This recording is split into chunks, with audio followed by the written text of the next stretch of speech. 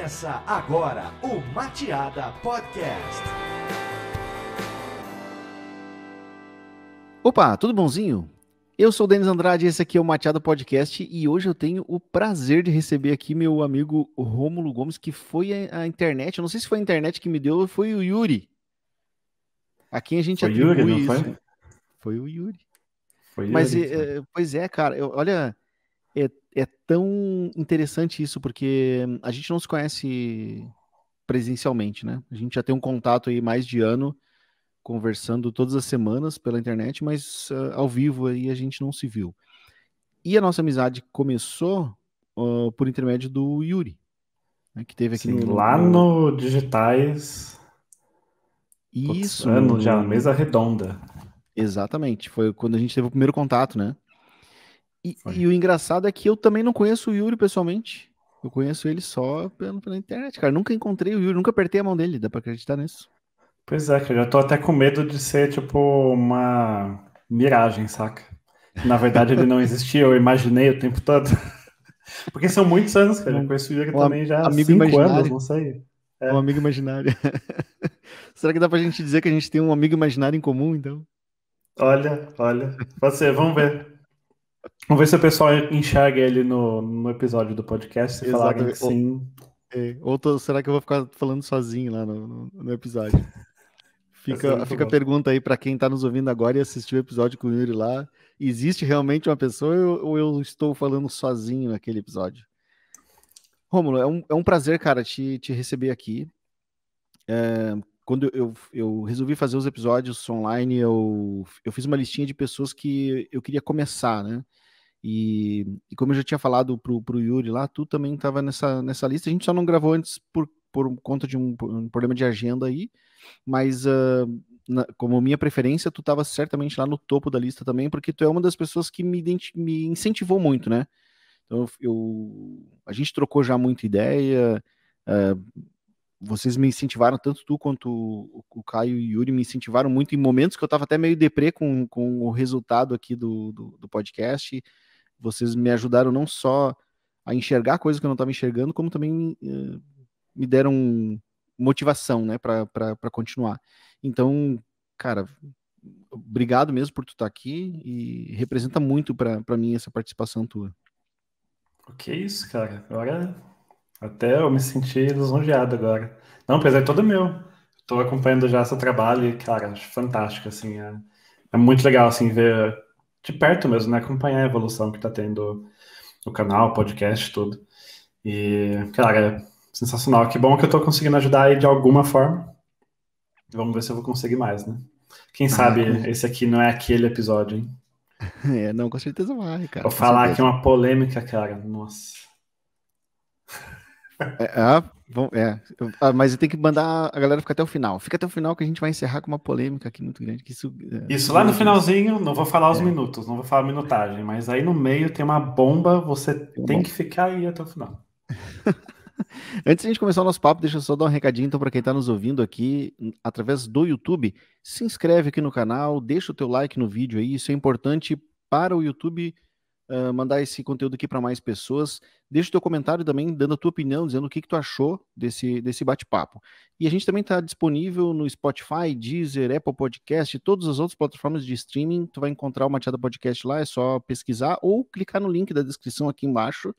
E se tu preferir assistir, só ouvir o, o podcast, Uh, através dessas plataformas é uma boa opção. Eu tô com uma campanha aqui porque eu quero ficar entre os top 100 podcasts do Spotify, então eu tenho um carinho especial por essa plataforma, preciso ranquear bem lá. E conto contigo, porque eu preciso da tua audiência e preciso que tu indique isso para outras pessoas também. Então, chega lá, segue o, Machado Podcast e manda isso para outras pessoas também. Uh, Romulo, quer... O Rômulo vai dar sete dicas hoje, matadoras, de como fazer growth, explodir o seu negócio. E a número 5 você não vai acreditar. Ótimo. Então, então eu já vou começar. A gente. Um pouquinho antes de, de eu apertar o REC aqui na, na gravação, eu fiz a seguinte pergunta para confirmar. Vamos, vamos falar de Growth Hack, então? E aí tu me disse o seguinte: é, hacking nem, nem tanto. E aí eu disse: não, então a, a, segura aí, não, não responde, mas eu vou ter que te perguntar isso aqui gravando. Qual que é a diferença entre o tal do growthing e o, o growth hacking? Que, que, por que, que essa palavrinha do final faz tanta diferença? Se é que pois faz. É. Vamos lá, vamos ver se eu não vou me enrolar agora. Vou jogar meus 12 anos de carreira no lixo. não imagina, não imagina. Não, vamos lá. Acho que, a credibilidade acho que... a risco. Exato, não, Dani, a gente está aqui para isso mesmo. É, cara, acho que o, o termo, né, o growth hacking, acho que foi o, o primeiro que surgiu né, nessa, nessa onda da coisa do growth, né? Acho que foi o que é quatro anos, uma coisa assim. Começou a se falar, acho que antes já se falava, mas pegou mesmo burburinho, acho que há uns quatro ou cinco anos atrás. E quando, quando o termo chegou, veio muito do, do Chanelis, né? Que tem o um livro, tem, tem o um curso e tudo mais. E ele posicionou isso como growth hacking. Tá? E aí o que aconteceu foi uma banalização bizarra, né? Porque era tipo, ah, fiz isso aqui, quintuplicou meu tráfego, e eu fiquei bilionário da noite pro dia. É, fiz essa campanha aqui, me deu um ROI de um milhão. E começou a surgir um monte de coisa assim. E era tudo muito truque, né? Truque, que nem é quando você faz o aquele clickbait assim, bem pesadão que eu fiz aí agora de, de brincadeira. Que é muito utilizado, é, né? É muito utilizado. Tem até um vídeo que eu posso deixar a indicação aí depois que até fala sobre essas questões do que você não fazer clickbait hoje é quase impossível, até no próprio YouTube, porque ele ele privilegia isso de um jeito ou de outro. Mas tem tem tem tipos diferentes de clickbait. Tem clickbait enganador, né? E tem outro que é só para aguçar a sua curiosidade, que para fazer a pessoa clicar mesmo, só que ainda tem um, um fundo de verdade, né? Ainda tem realmente uma informação relevante se escondendo por trás daquele, daquele título meio que clickbait. Esse, esse privilegia que tu falou, ele é mais, é, ele é consequência causa, porque o, o clickbait, ele uh, tende a ter um CTR maior, e aí CTR sim Exato. é uma coisa que o YouTube de fato leva em consideração, né? Então, é, é, mais, CTR é, mais é fator de ranqueamento, né? Então, sim. um vídeo com CTR maior vai estar mais no topo, então o que acontece com o tempo, as pessoas percebem isso, então, a partir de agora, todos os, os, os thumbnails e os, os textos, né, vão puxar para isso aí.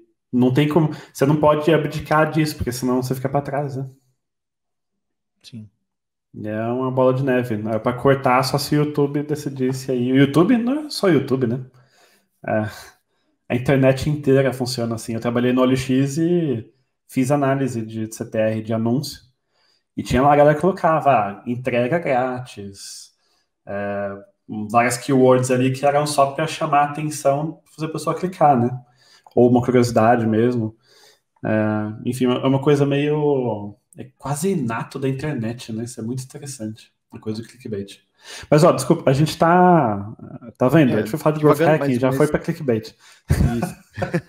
Ó, mas antes de. Não, antes de tu retomar, deixa eu só falar uma coisa. Tu falou que isso é, é, da internet, mas eu vejo isso muito em propaganda tradicional também, né? Quantas vezes a gente vê lá na, ah, na, na, Globo aquele pancadão assim, não compre carro esse final de semana.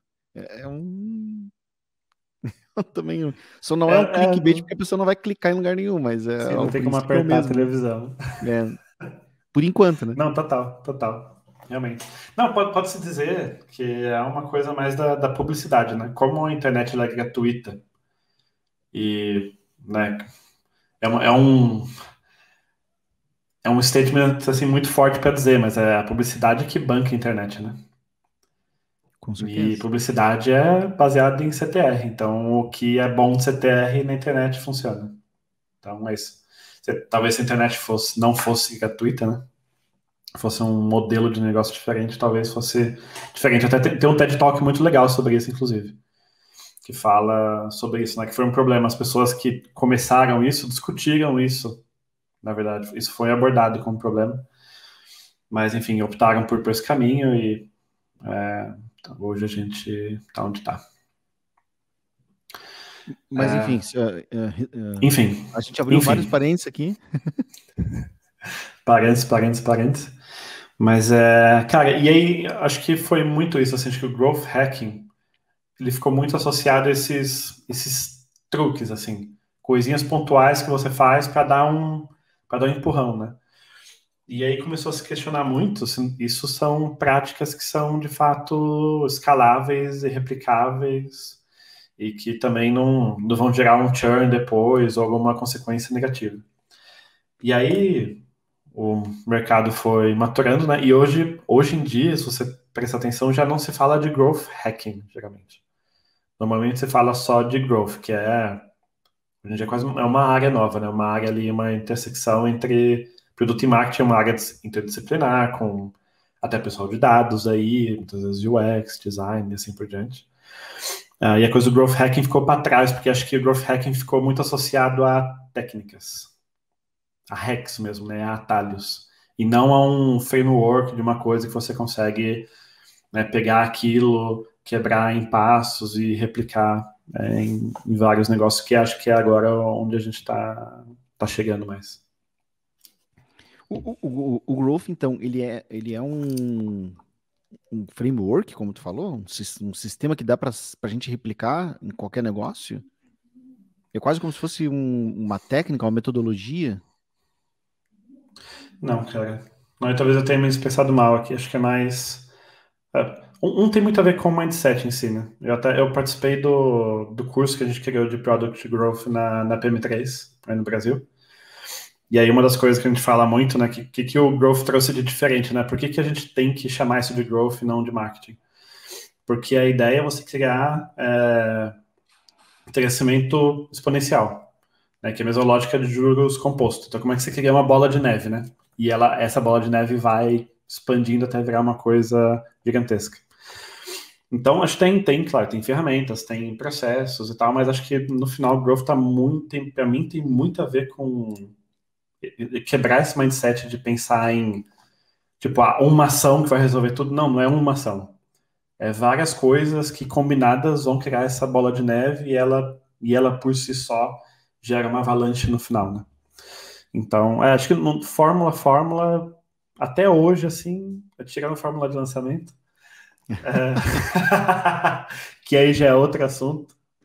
Para mim não é, não é growth, para mim entra nas iniciativas que são pontuais, né? Coisas que dão aquele, aquele pico do Everest, mas não é uma coisa que você faz todo dia, né? Tanto que a fórmula de lançamento, ela, fórmula de lançamento, ela, ela funciona também porque ela está, ela está contida num período de tempo é muito, muito restrito, né? É um, é um dos, dos truques ali, né, do, do negócio. Mas o, mas o Growth, assim, eu fiquei com um pouco de dúvida. Como é que a gente poderia uh, sei lá, resumir ele a uma palavra? Ele é uma metodologia? Ou é um conceito? É que para mim é muito, vai muito mais para de conceito, assim, porque metodologia, acho que isso, isso, implicava que tem um processo que você segue e no final vai dar sempre no mesmo lugar, né? Como, sei lá, fazer uma cirurgia. E não é bem assim, né? Tem muito, rola muito improviso, na real. É, e não, sei lá, se eu aplicar uma receita aqui no, no seu podcast, essa receita não vai funcionar no do outro, talvez porque depende do público, do, é, do tipo de conteúdo, enfim, é, de várias coisas. Acho que é mais. Acho vai mais falar do conceito, pelo menos para mim, tá? O conceito do, e o mindset, a forma de se trabalhar. A forma como se trabalha, e não a técnica em si. E, e o que, que tem de, de, de, da grande diferença assim de um trabalho normal de marketing e, um, e, o, e o growth? É a velocidade com que as é. coisas acontecem? É o, ou é o jeito com que as coisas acontecem? É, para mim, é, é, muito jeito. É muito jeito. O, o, marketing, ele já. O marketing moderno, né? Ele já vinha nessa pegada de. Já, já vinha, não, né? Vem ainda. Com muita pegada de experimentação, de teste e tudo mais. Acho que o que o, o, o Growth aqui adicionou e. Cara, até eu participei de um outro podcast a gente estava falando sobre isso, né? A diferença do marketing e do growth. Uh, e eu, eu participei do Reford, que é, né, que é um curso é? fodão aí com. É, mas Reford. Fala, não, mas fala antes do, do podcast para. Ah, é o Unmute. O Unmute do, do Bruno Parodi. Pô, legal. E tá disponível no YouTube também? Vai ser lançado daqui a duas semanas, eu acho. Ah, vai ser lançado. Então, quando for lançado, uh, se a gente lembrar, e a gente coloca um link aqui no é, desse lado. Nunca sei para que lado apontar. Eu também Eu nunca sei. Um, um cardzinho aqui para as pessoas assistirem lá também. Acho que é mais desse, talvez. Não sei. Aí, agora, foi, agora tu fez certo. Agora foi certinho, não foi? Olha só. Olha aí, viu? Não, mas Eu então, coloco o link aí também. Sim, é, eu- então a gente estava falando disso, né? E eu, eu tive a oportunidade de conhecer o Brian Balfour, que é o VP de Growth do HubSpot, né? Que fez um case, porra, bizarro lá, o que o HubSpot conseguiu alcançar. Ele, pegou o conceito do, do flywheel, né? Que é a coisa do, do crescimento que se retroalimenta. Ele, ele, ele sim, ele criou um framework, uma coisa que, que dá para replicar, mas com vários se, né? Tem várias condições ali no meio para isso funcionar. E foi uma coisa muito interessante, cara, que ele falou o seguinte: é, acho que a gente chama hoje de, de growth, dá esse nome, porque, como é uma forma diferente de fazer as coisas, meio que surge essa necessidade de falar assim: olha, esse time aqui, eles operam num mindset e num com conceito diferente do que é aquele outro do que, que a gente tem hoje. E no futuro, tudo dando certo, um time de marketing já vai operar como se fosse o mindset de um time de growth. E não vai ser mais necessária essa distinção. E eu acho, eu acho isso muito válido, porque no final do dia é isso, né? Você parar de pensar em silos. Então, o método normal que é o, funil, né? Os piratas. Awareness, acquisition, retention, referrals, revenue. E aí você acaba organizando o time dessa forma, né? A gente fala até hoje isso: time de aquisição, time de retenção, time de branding cuida de awareness. E quando você tem esses times trabalhando na- só na, na faixazinha deles, é, isso gera um crescimento linear. Por quê? Porque eles estão pensando: ah, como é que eu aumento cliques para o meu site? Como é que eu aumento o alcance da minha campanha, se eu estou focando em awareness? Mas eles não estão pensando como é que essa coisa se retroalimenta. Como é que eu atraio usuários que esses usuários vão me ajudar a atrair ainda mais? Que é essa, o, o viral loop clássico, o do caso do Hotmail, né? Que tinha lá a assinaturazinha. Então a pessoa mandava e-mail pelo Hotmail, tinha lá um link no final. É, PS, eu te amo e use Hotmail. E a pessoa clicava naquilo, e a pessoa assistia o Hotmail, pô, que legal esse negócio, cadastrava, essa pessoa mandava e-mail para centenas de pessoas, essas pessoas viam esse link, clicavam, se cadastravam e assim por diante. Ou Uber, que no começo cresceu muito com o promo code, né? Você convidava um amigo, o amigo ganhava 10 reais, aí esse amigo convidava mais 10 e outro mais 10, e a coisa ia amplificando e assim por diante. O, o Então- TikTok faz algo assim também, né? Se ele te paga se tu convidar um amigo. Tá dando, é, tá dando, é o TikTok bônus, né, que eles estão chamando? Uhum. Eu, eu acho que é esse nome. E, cara, e é isso. E é assim, quando você faz uma coisa dessa, pô, que nem quando é referral, assim, na Member Get Member, isso envolve financeiro. Você está dando dinheiro para as pessoas. Envolve time de aquisição, que tem mídia paga. Envolve CRM, porque tem e-mail, push, mais não sei o quê. Envolve produto, porque você tem que criar um, um espaço no produto onde você vai falar disso. Tem que colocar na jornada. Então, você deixa de agir nessas etapas do funil e passa a pensar no todo e como é que esse todo se retroalimenta. Então, é uma forma de trabalhar completamente diferente. Tem muito mais dados envolvidos, tem muito mais produto. Aliás, geralmente você não consegue fazer growth ou só com marketing ou só com produto, porque o principal, né, que é o member get member que a gente está falando, não tem marketing e produto, não tem como fazer isso independente. né? Então, ah, eu acho, acho que é importante, tá? Acho que é importante ter esse nome diferente para meus casais choque. Falar, assim, pô, isso aqui é um negócio. Cara, isso aqui é um jeito novo de fazer as coisas. Não é igual ao que a gente tinha antes. Daria pra gente dizer que é tipo a relação que existe entre uma empresa e uma startup, que no, fundo das, no final das contas é, é a mesma coisa, só que feito de um jeito diferente, né? Com uma cabeça nova. Porra, gostei dessa analogia. É isso. Porque uma startup é uma empresa, né?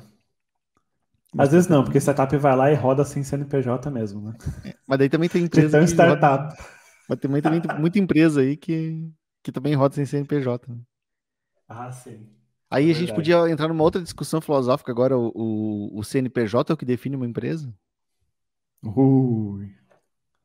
Ah, não sei. Não, acho que não, não, tem muito startup com CNPJ. É, mas me diz uma coisa, e como é que é o, o, o dia a dia do trabalho, assim? Tu deu esse conceito em geral, mas e aí? O, o, o growth, é, ah, como tu falou, ficou, ficou muito essa essa identidade, assim, de parece que vai contar, principalmente do growth hacking, né? Parece que vai ter um segredinho ali, uma receita de bolo que o cara vai seguir, aplicar aquelas duas coisas deu. Mas uma vez que, que não é assim, que, né, que não tem um passo a passo para seguir, como é que funciona, né? Principalmente a parte de dar o start num projeto. Exato. Não, e essa parte mais difícil, assim, porque no, no primeiro momento, como não existe o time na empresa, né? É uma, um ponto de interrogação gigante. Pô, vou fazer esse time e aí? O que, que vai acontecer? O que, que eu espero disso? Então, o que, que, que, eu, que, eu, que, que eu tenho visto acontecer? Visto acontecer? É, é o jeito que você fala mesmo. Uhum. Uh, tem, tem setups que eu estou vendo hoje com times de growth marketing, que acho que é diferente. É, são, são só aqueles times que trabalham com canais muito escaláveis. E às vezes para mim tá muito ligado mesmo ao growth hacking, que é time que faz coisinhas ali que, tipo, vou fazer aqui uns troquezinhos para tipo, pra dar um levante no negócio cuida de performance, né? Mídia paga, às vezes é, SEO, automação e, e coisas assim. Esse, esse é um, uma coisa e não é. Já está no nome, né? É growth marketing, então não é, o, não é o time raiz de growth, digamos assim.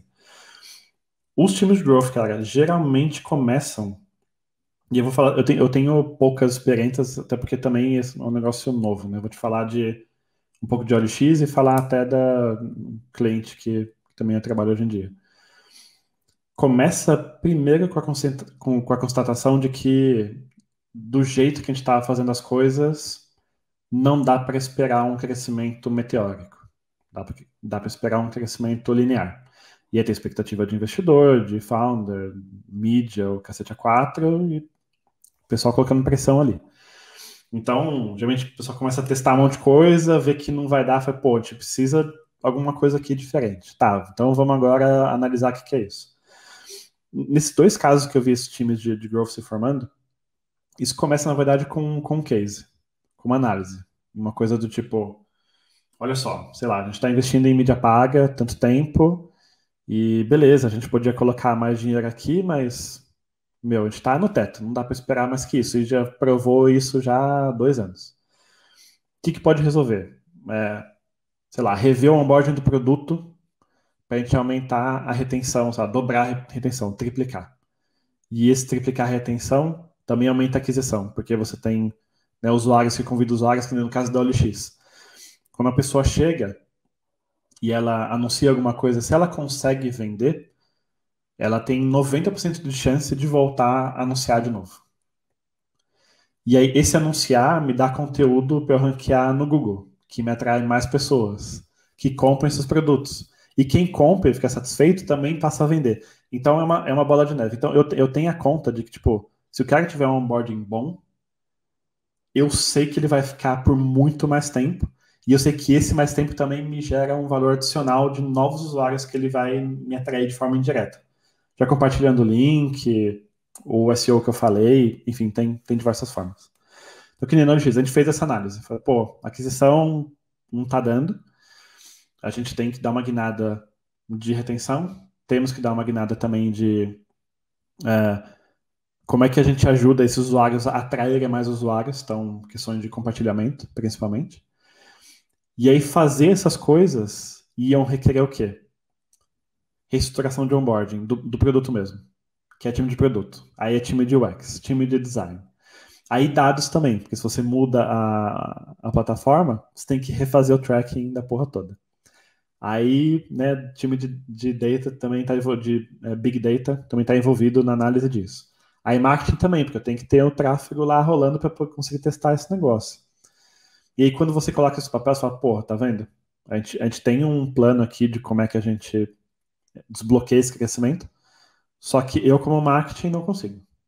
Eu tenho que me juntar com essa galera aqui para poder fazer isso.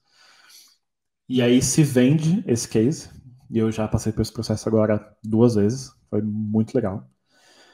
E a partir desse case é formado geralmente um, uma squad, não um time formal. Por quê? Nesse momento o modelo não está aprovado ainda. É só, uma, é só um, um, Excel, né? Não aconteceu nada na realidade. Então se forma squad. Fala assim, ah, então beleza, então vou te dar fulano time de produto, que vai vir um dev junto ou dois. fulano de dados também vai estar aqui para te apoiar, pode pegar um designer aí do marketing mesmo, se juntem aí e vão então fazer o tal do onboarding que vocês querem. E aí pronto. A gente tem um, não um time ainda, é uma squad, então as pessoas estão part-time ainda nesse momento. E aí começa-se a desenvolver o, o, MVP, as validações, assim por diante. E aí o resultado sendo bom, aí sim, pô, legal, fizemos aqui, pô, retenção, sabe, ativação no D1 triplicou, isso gerou um, impacto aqui no bottom line de, de X. Beleza, agora vamos então fazer um time formal e, e tocar esse negócio. É, então é um processo, assim, não é. Esse processo que tu, que tu descreveu, eu achei muito parecido também com o processo de CRO, né? Processo de otimização de conversão, por exemplo. Identifica um problema, cria uma hipótese, aí tu faz um teste, faz um teste AB, pega a amostragem para ver se aquilo tinha. Existe Sim. essa similaridade ou eu que tô forçando? Assim? Não, existe, existe muito. Não, tanto que, tipo, é, quem trabalha já com CRO, esse processo é normal já, né? O, o dia a dia basicamente. Mas geralmente o CRO ele consegue, às vezes, sei lá, os caras têm um Unbounce, né? Um WordPress. Ele mesmo mete lá a mão e faz, né? Quando a gente fala, tipo, do OLX, eu não consigo fazer tudo isso com WordPress. O site não, tá, não é WordPress. Tem, alguém tem que mexer no código mesmo. Então, eu, eu, ele eu, acaba expandindo o escopo bastante. É, é, envolve uma equipe muito maior, né? E pela tua descrição, não me parece uma coisa para quem não tem experiência, né? Não. É, aí é o que me deixa fudido, cara. e eu, eu, eu falei, eu falei, eu falei no mute, vou falar aqui, tipo assim, eu, eu vejo o cara, tipo assim, é, tá um ano no mercado, ou dois, e é um cara de growth, tipo, não. Porque quando eu penso nas iniciativas que estão sendo feitas, eu falo, meu, a pessoa para coordenar isso aqui, é, se é um marketplace, o caso do OLX, ele tem que sacar muito de UX, ter feito várias coisas. Ele tem que ter feito CRO já várias vezes. Tem que ter feito automação, tem que ter feito mídia, tem que saber fazer uma análise de cohort, que é uma coisa que raramente eu vejo no mercado as pessoas sabendo fazer de verdade. Ainda mais alguém com um, dois anos. Então, uma, uma sequência de coisas que se você não tiver passado mesmo e, de ter feito essa, essas pequenas coisas isoladamente primeiro, você não consegue juntar o quebra-cabeça. Então, para mim, o cara de growth, ele, ele tem que ter passado por essas áreas. Ele tem que, sei lá, é um cara que era dev e foi para produto. É, ou dev foi para marketing. No meu caso, eu, fui, eu comecei dev, fui para produto, agora estou no marketing. Também fui, pô, liderei vendas já. Então, se eu precisar fazer, que nem trabalho com empresas B2B, que eu já fiz bastante. A Social Miner que fez um case, porra, foda lá, tipo, cresceu um negócio 10 vezes muito rápido.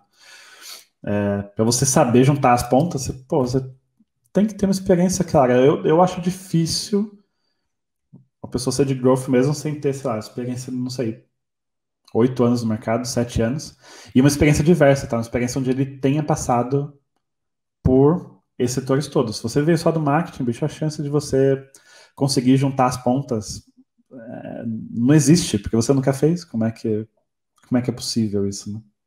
É, porque senão vira um, um, um growth hacking de by the book, assim, né? O cara pegar é. coisinhas que estão prontas ali, aplicar, chamar isso de hacking, fazer esse. Por esse... isso que aí eu falo, cara, growth hacking é uma coisa, growth é, é outra. E não dá para não dá para falar que os dois são a mesma. E como é que acha esse profissional no mercado? Ih, rapaz. Então, não acha? É que... não tem, é, tem, mas são poucos. Né? Até o pessoal de RH eu vi esse termo aí já mais de uma vez. Que eles falam que é um unicórniozinho, né? É uhum. o cara que era de produto está no marketing. É um cara que começou no marketing ou sabe, estatística. Tem muita gente de dados que agora está indo para produto, né? E geralmente é o pessoal bom, porque o pessoal de dados eles estão acostumados a fazer esse diagnóstico e essa coisa de entender como é que a máquina funciona. E aí sim poder falar, pô, então é, é esse negocinho que eu tenho que apertar para fazer a coisa é, virar, né? Então, assim, cara, muito difícil. Muito difícil, porque eu falei aqui sete anos, oito anos. Uhum. E eu também falei que growth é uma coisa de, tipo, que popularizou mesmo, mesmo cinco... cinco anos atrás. Então, não é, que, não é que você tem que fazer growth há cinco anos, tá, cara? Ou sete, mas, tipo assim, você tem que ter tido uma estrada no digital de mais aí, não sei, talvez de sete anos, com experiência diversa para poder chegar nesse ponto. E aí, como o mercado é novo, você tem pouquíssimas pessoas, assim, por matemática, por física, né, do tempo, por não... Isso existe há tão pouco tempo, é difícil achar gente que daí tenha passado por essas etapas todas, né? Então, cara, essa é uma dificuldade hoje. Tirando fora essa dificuldade da, da experiência, né? Que não é uma coisa preto no branco, assim. O cara vai ter que puxar, ligar pontos, né? Como tu, como tu falou. Uh, essa com certeza é a parte mais difícil. Então, uh, se essa é a parte mais difícil, uh, o restante, né? Para quem já tem, digamos que alguém tem estrada já, cara tem anos lá, passou por coisas, experiências diferentes, tudo, e ele quer começar a trabalhar com growth. A, a barreira de entrada é, é pequena nesse caso, né? É pequena, porque a, demanda é gigante. Então, mesmo que ele ainda não tenha experiência também, vai ter um monte de empresa, tipo, tá mais que nem se for uma pessoa de bagagem. Então, mesmo que ela não saiba ainda é, executar o growth bem, se é uma pessoa já sênior e tudo mais que se vira, tipo, ela vai, ela vai dar um jeito, né? Mas o aprendizado. E, é o que tá rolando é... hoje em dia. Oi? O, o, aprendizado em si é difícil? Cara, ah, quero aprender a trabalhar com growth. É, a dificuldade é que, como não tem um playbook, Tipo assim, não tem um. Você não vai pra faculdade, certo? Uhum. Nem pós, é, até, e até curso livre, sabe? Eu falei do PM3, que foi o primeiro aí no mercado. E a gente lançou esse curso no começo do ano. Mas e é um que curso, que né, cara? Tipo assim. E o que, que você ensina nesse curso? Já tem diversos módulos, tá? Eu, eu dei os módulos de, de ativação, onboarding, que é a, a, a principal etapa do growth, na verdade, onde a, a mágica acontece é, a parte também de engajamento, então depois ativação, o que você tem que fazer para manter aquela pessoa ali. E também deu um módulo de, de churn, ou de prevenção de churn, no caso. Né? Então, desses módulos todos, também deu um módulo de, de viral loops, que é a ideia de né, como é que você cria esses, esses sistemas que se retroalimentam, né, que crescem sozinhos. Então, mas tem mais coisas lá, cara. Tem pô, 12 módulos. Eu sou só um dos instrutores que, que tá lá. É, mas é isso. É, é, tá vendo? Tipo, eu dei o curso. E vou te falar, eu, o que eu dei ali foram ferramentas e alguns processos que eu aprendi ao longo do caminho, que alguém pode pegar naquilo e, né, e replicar e aprendendo na, na marra, que nem, eu, que nem eu ainda tô. Nem posso falar que eu já aprendi, porque me considero né, ainda não experiente o suficiente ainda. E, cara, é isso. Então, tipo assim, o, por isso que o pessoal de growth é difícil de achar também, porque tem que ser uma pessoa que ela é capaz de trabalhar com o que você mandou lá no vídeo, que são os problemas de escopo aberto. Ah, não é tem um... fórmula.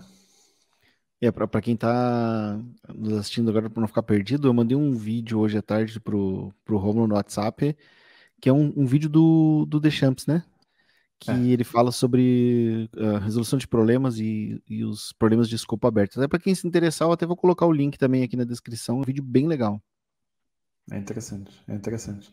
E é isso, né? Porque imagina, tipo, o seu chefe chega lá, meu, você tem que crescer esse negócio aqui em cinco vezes. Em, sei lá, seis meses. Tá, aí no último ano, quanto cresceu? A 10%. What? Como é que eu vou fazer isso, cara? É tipo assim, não tem. Não tem um caminho das pedras. Você vai ter que investir. É um trabalho investigativo no primeiro momento, que é o tal do case. Geralmente, eu sempre começo por um diagnóstico, né? Levantando funil, é, levantando canais, levantando pesquisa qualitativa, é, entrevista com usuário, estudar o mercado também bastante, competidores. E, assim, procurar uma agulha no, no palheiro, né? Então, acho que a dificuldade, assim, é, tem, é, por isso que é, é mesmo muito, muito difícil achar alguém, porque além da barreira gigante de simplesmente não o mercado ser tão novo que não deu tempo de formar as pessoas e não ter faculdade nem nada, ainda tem dificuldade, tipo, o perfil da pessoa que sabe fazer esse trabalho é um perfil que é, é um tipo de cabeça, é a pessoa que, tipo, que tá disposta a errar, né? E ela vai errar muito. Nossa, eu erro muito, meu Deus do céu. É mais, ah, é você mais tem que estar ok com isso. Né? Nossa, muito mais. É, um, é uma vitória para cada 30 derrotas. e é, é, complicado. E também, e também que empresa que topa isso. O Brian Balfour, novo cara lá do, da Reford do, do HubSpot, ele falou do. Você lembra do Sidekick? Hum, como é que é o nome? Sidekick. Sidekick. É uma extensão. É uma extensão do Google Chrome. Não. não é uma extensão do, do HubSpot que basicamente você, você instala ali, você manda e-mail para os seus leads, né? E aí, quando a pessoa abria e-mail, clicava no e-mail, aquela uhum. extensão te falava, porra, fulano abriu seu e-mail. Ele clicou, tá. vai lá e faz um follow-up. É só isso que a extensão fazia. E aí, Sidekick foi um, foi um falhaço, assim, por, meu, quase um ano. E ele fez 72 testes até chegar na versão matadora e foi o, foi o Sidekick que depois meio que alavancou o HubSpot em si. E até o acabou morrendo, né, a marca e tudo mais. E hoje faz parte da, da suite, né, do, do HubSpot. Mas é isso, cara, imagina. Que empresa que tem estômago para aguentar, tipo, um ano de um time caro, de um head com, com dev, com pessoa de dados, com, meu, sei lá, pagando gastando 200 mil por mês naquilo e não vendo resultado, é, não Sim, é. O gestor precisa é acreditar muito, né? Muito. Muito, muito, muito. E para mim tá a dificuldade também. Tem um. Óbvio que você pode fazer o case, né? Você deve fazer o case e estudar, fazer projeções, mas, meu, a vida real e a vida no Excel não são as mesmas, né? Então... no Excel tudo funciona. Você põe lá a forma, tal, projeto lindo. A vida real é muito complicada. Né? Eu, eu gosto de é. usar, tu, falou, tu tá falando de colocar no Excel. Uh, tu conhece uma ferramenta chamada Geru? Ou Gero? Não. Tem gente que fala Gero. É uma ferramentinha que tu monta funil, assim, tu vai colocando as caixinhas e o fluxo vai daqui para lá e tal. E ali uhum. tu vai dizendo, ah, se eu tiver aqui 7% de conversão, daí ele, ele vai recalcula todo o funil e diz lá no final quanto que isso representaria em vendas. Ah, se eu aumentasse o meu ticket médio e tal. Aí eu tô lembrando disso que tu tá falando também, porque é para tu criar uma apresentação para o cliente, colocar um monte de números ali, suporte, ele aceita tudo, qualquer coisa que tu colocar, ele vai aceitar. É, e é uma ferramenta visualmente bonita, assim, impactante também. E, mas também, na prática, uh, como, diz, como diria o Thiago Nigro, que é aquele cara que tu gosta bastante, na prática a teoria é outra. Não, boa frase. Boa a frase. frase é, a frase é muito boa. Uh, tu falou, Não, tu e aí tá. Desculpa, né, mas só para complementar, aí, Não, porra, aí é dificuldade, né? Porque assim, vamos lá, até no meu, eu no meu lugar, né? Eu tô aqui tentando convencer o cliente, né, vender a ideia para ele de que montar um time de growth é sensacional, é incrível, se ele fizer isso, a vida dele vai ser maravilhosa. E ao mesmo tempo eu sei que vai dar ruim por um tempo X aí. É, pode ser. Pode não, não, ser, ser não necessariamente vai dar, né? Porque pode ser, daqui a pouco tu acerta na música na primeira ali, pode acontecer, né? Sim, mas a chance disso acontecer é, é muito, muito baixa. Uh, o, o, growth, o, os hackzinhos funcionam assim, no curto prazo.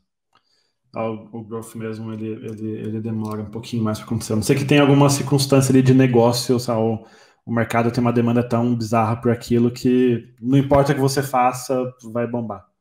E, e acontece muito disso né, na prática.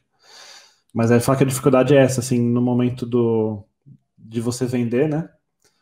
Pô, eu vou ser aqui otimista e, vend, e vender uma coisa que o cara vai comprar na hora, ou eu vou já, tipo, ser conservador, né? E dar um cenário, tipo, que ele vai olhar e, e ele não vai gostar. Ele não vai gostar de ver.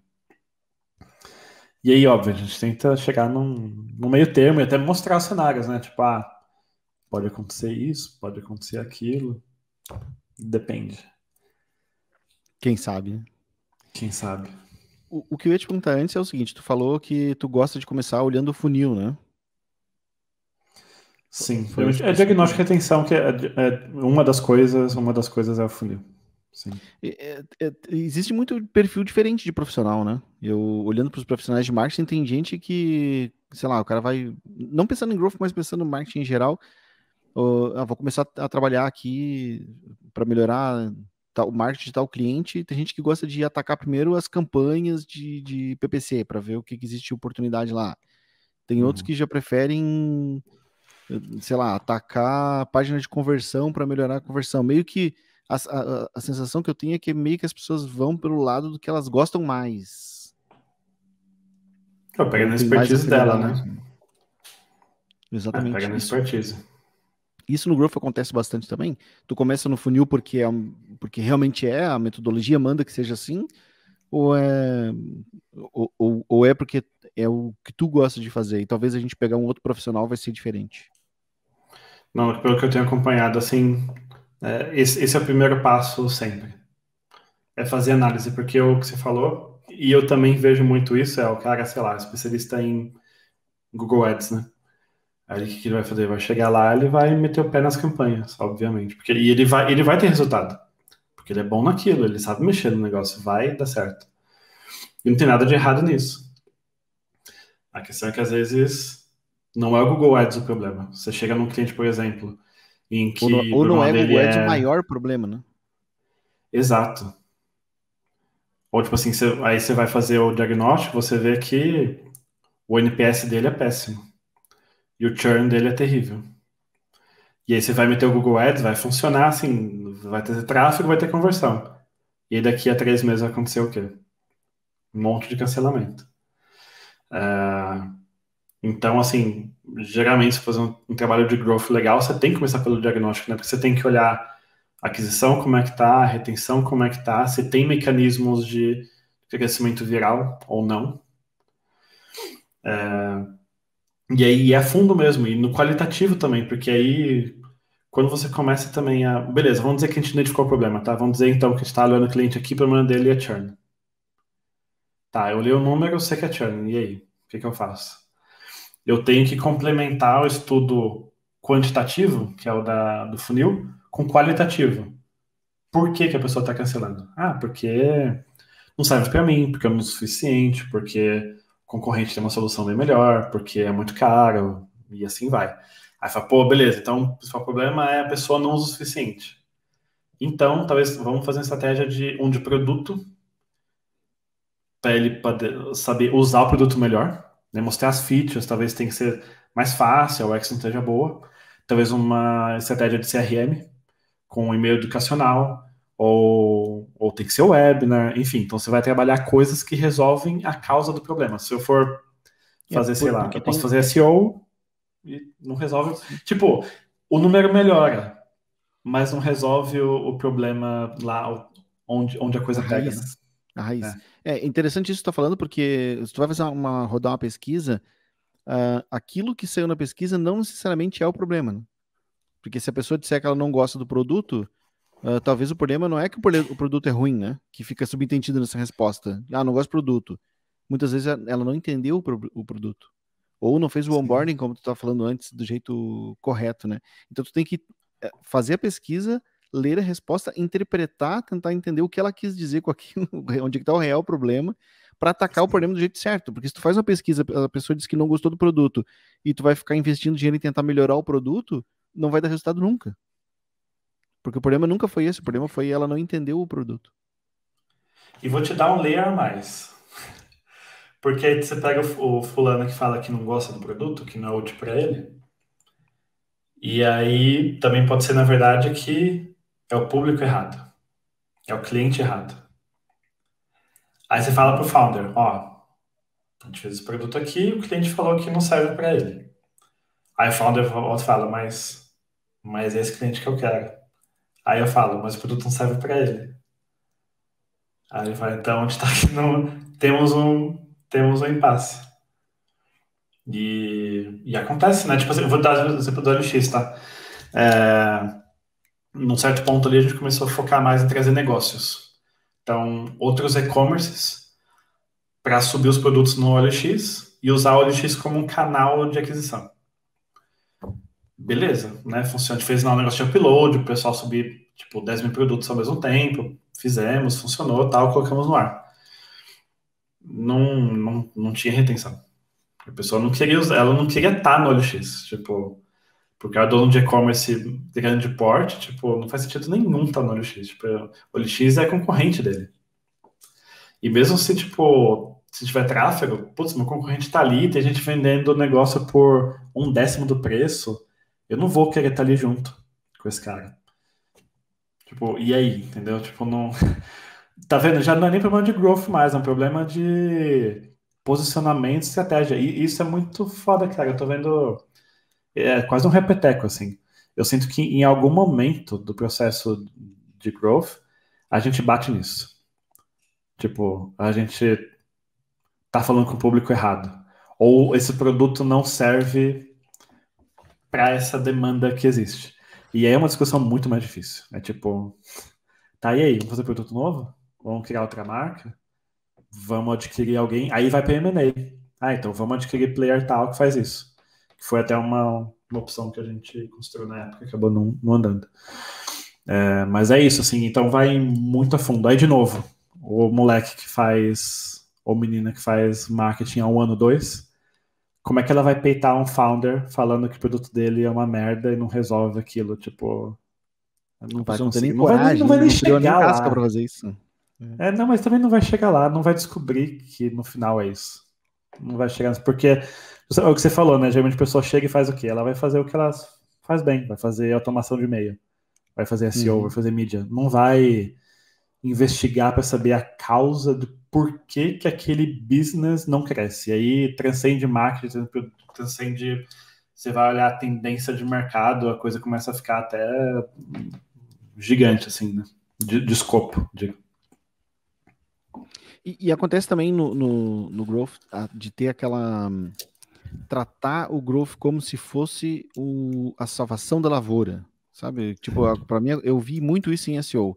Tipo, a empresa está quebrando, não vende e tal, e parece que se ela fizesse ou ela descobriu, leu, alguém falou para ela que a solução é fazer SEO. Daí uh, vem conversar com, com SEO como se fosse a última esperança, assim, tipo, ah, parece que agora eu vou fazer isso aqui, e aí eu vou começar a ter muito tráfego, porque o tráfego é gratuito, e aí eu vou começar a vender e tá tudo resolvido. No, no Growth acontece isso também, do tipo, pô, tô aqui fudido, ninguém, ninguém é, contrata meus serviços, que contratos saem fora cedo, e aí eu vou contratar um Growth para solucionar esse problema. Exato. Sim, acontece. É uma merda. porque, é, porque eu tive, eu tive um cliente até, cara, não faz tanto tempo assim, que ele me contratou com esse mindset, né? O negócio não ia já há alguns anos. Tipo, tava, ele tava andando bem, faturando bom volume legal, só que ele bateu no teto. E dali não ia mais, tipo, não... e ele tentou mil coisas e, e não dava. E ele falou assim: ah, vou chamar então o menino do Growth. Que é tipo o menino da impressora, né? O menino que vai chegar aqui. Aí ele vai, vai apertar um botão e vai magicamente resolver. E até tive até uma situação, daí não foi de público errado, mas foi de mesmo problema de operação, tipo time de, de CS ruim. Então, adquiria bem, né? O cliente comprava, uma plataforma B2B. O cliente chegava, comprava, tal, meu, no onboarding já a coisa desandava, que é o time de, de CS. E o pós, então, era um horror, show de horrores total. A gente pediu um negócio, o cara não respondia por semanas, pra você ter ideia. E então, NPS, aí coloquei NPS, falei assim: ah, vamos ver como é que tá esse negócio. Aí né, na hora, batia no NPS, veio uma enxurrada de. Parecia o, parecia o, o mural do Reclame Aqui o negócio. E, mas o pessoal ficava porque, tipo assim, é uma solução proprietária, só tem eles, são gigantes, enfim, a pessoa é obrigada a usar aquele negócio ruim. E eu falei, cara, se quer crescer aqui, o marketing tá tudo certo, tá? É, meu, manda esse headset embora, refaz, o onboard tá horrível, a sua fila de implementação tá de 12 semanas. Tem cliente esperando 12 semanas para conseguir começar a usar a solução. E é isso, e, tipo, e eu, eu meio também falei assim, ó, oh, cara, tipo, é isso, e aí não é a minha expertise, eu não sou o cara de CS. Recomendei uma pessoa e, e tchau, né? E o cara ficou puto, porque, tipo, não, mas porque o time de performance tem uma campanha aqui no LinkedIn que não performa. Eu falei, cara, mas tem um monte de gente na porta, o cara tá esperando 12 semanas para entrar, tipo assim. Eu, eu posso colocar mais lead na nossa porta, mas isso vai fazer o que com isso? Vai enfiar onde? Nem falei onde ele enfiar ali. Né? Mas puto. e aí é, é, o, é o caso que é uma cegueira opcional, né? O cara tá, tá ali e ele não tá enxergando o que ele não quer, né? Pois é.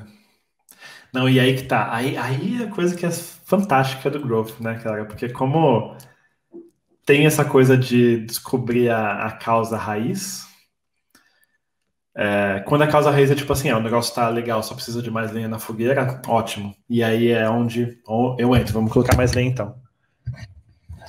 É, mas às vezes o problema vai ser, vezes é a cabeça do founder. Às vezes a estrutura que está errada, é o preço que está completamente fora. É... Então por isso que para mim transcende, né? Não é por isso que para mim growth não é marketing, né? Porque é o, é o, é o business todo que, que tem que ser refeito. Isso é muito interessante, nossa, eu, eu adoro, assim, para mim é esse trabalho é pega um quebra-cabeça, né? Um carro, você desmonta ele todo, parafusos todos, olha tudo por dentro. E aí tá, vamos, vamos remontar agora da forma como deveria ser. Mas é, nem sempre dá, às vezes, às vezes, às vezes eu mesmo olho e falo, putz. Às vezes só desmonta tudo e pensa assim, ah, não vai dar para montar, e deixa lá e vai embora. Exato, você começa a desmontar, putz, mas tinha peça faltando, ou você, tipo, é igual, sei lá, se, se, eu, se eu tomar uma facada aqui, né, cara, se eu tirar a faca, vai vazar tudo pro seu lado, né? Eu vou morrer. Às e vezes é melhor deixar mesmo. a faca por enquanto. É melhor deixar, deixar Não, e rola isso, tipo assim, não, deixa. Deixa, tipo assim, assume que é isso e vai. É, e, e, tu falou de growth aí bastante, falando de equipe, né? A ah, equipe do desenvolvimento, a equipe de, de atendimento ao cliente, então, envolvendo uh, nos, nos exemplos tu deu aparentemente muitas pessoas, certo? Uh, o, o, o, growth ele só é aplicado em empresas maiores, assim, que tenha pessoas diferentes, ou se, sei lá, quem está nos ouvindo aqui tem uma empresa lá com uma empresa pequena, duas, três pessoas, dá para usar growth da mesma forma ou não? É uma coisa que não cabe para uma pequena empresa. Não, quer dar. E acho que é mais fácil na pequena, porque, de novo, o diferencial do growth é justamente você usar todas as áreas juntas, né? E eu, eu vejo como contrário. Quanto maior a empresa, mais difícil, porque uma empresa, uma setup de 15 pessoas, todo mundo já está na mesma sala, né? Então, se a gente falar alguma coisa aqui, está todo mundo dentro, todo mundo da linha, e vamos lá.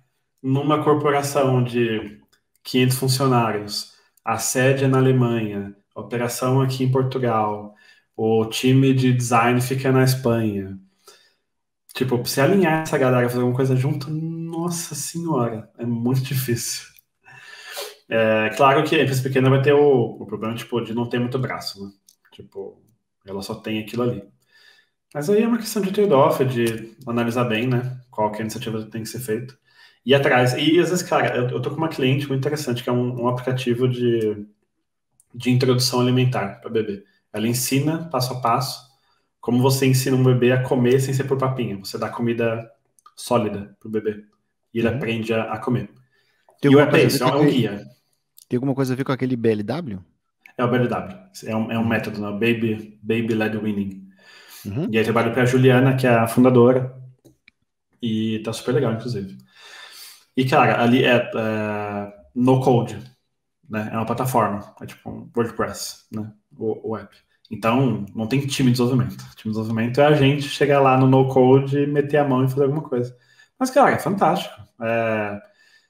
Tem lá as redes sociais também, que é o canal dela, que é gigantesco, tem centenas de milhares de pessoas lá. Então, trabalha muito com social, trabalha com no-code, trabalha com push, trabalha com o que a gente tem, entendeu? Também não, não tem glamour, assim. Esse, esse é, um, para mim, o melhor exemplo da minha carreira até agora.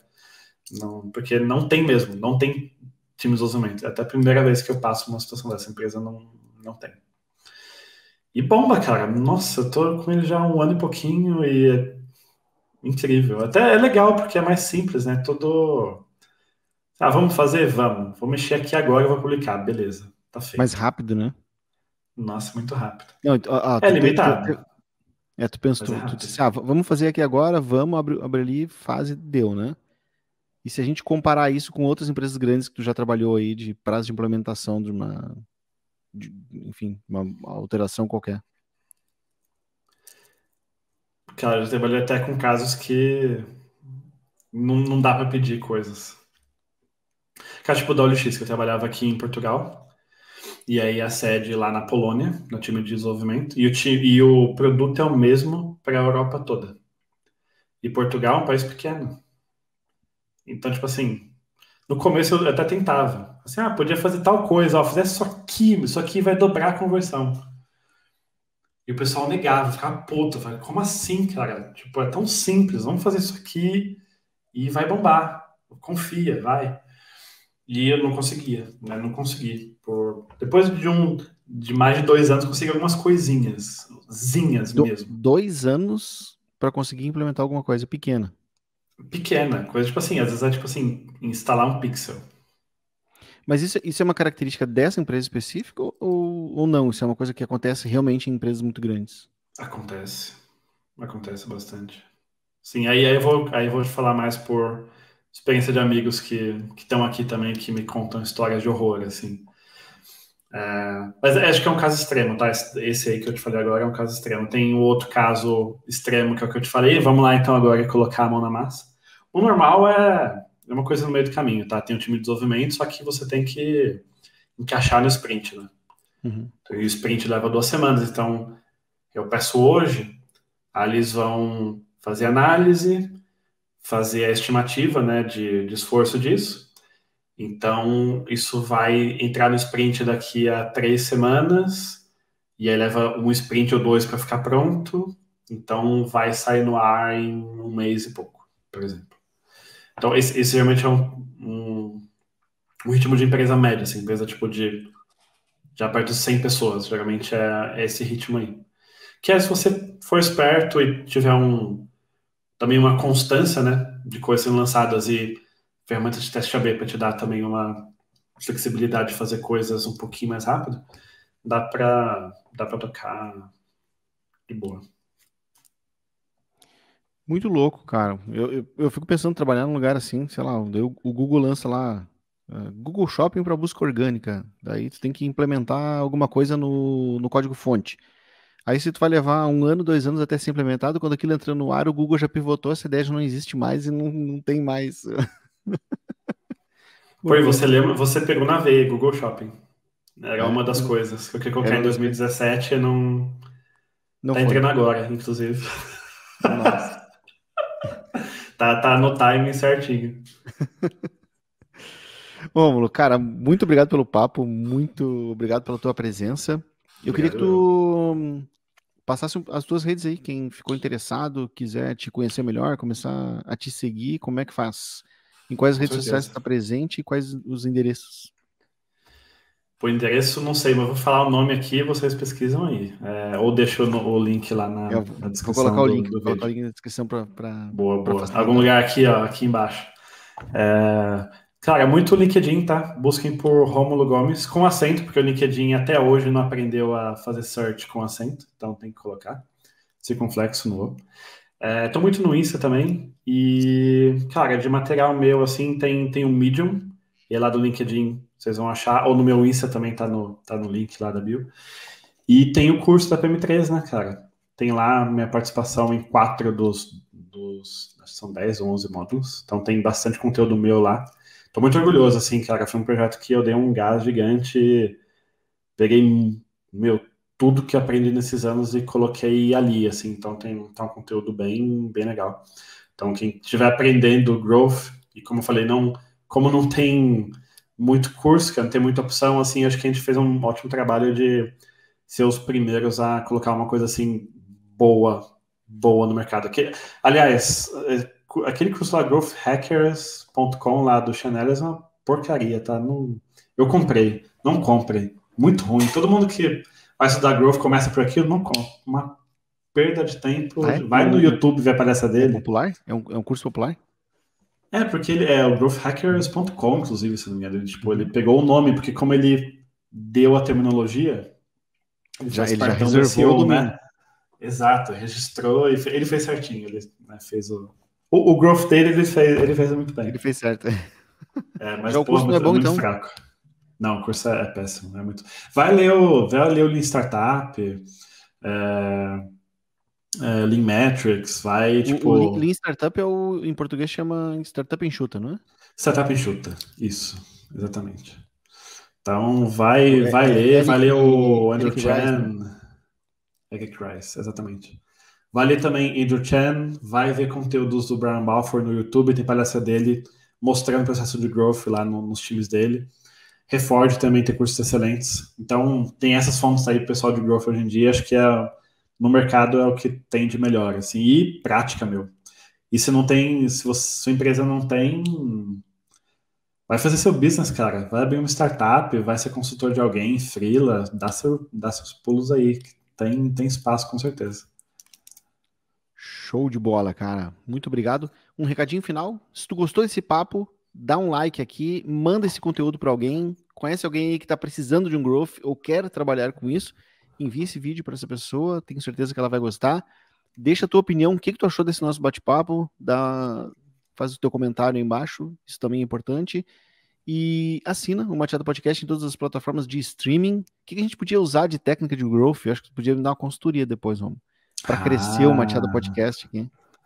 Pô, vamos fazer um member get member aí, pessoal compartilha, seu amigo assinar, ele ganha uns goodies aí, cara, não sei, stickers. É, ganha aqui, ó, a bolinha da Machada.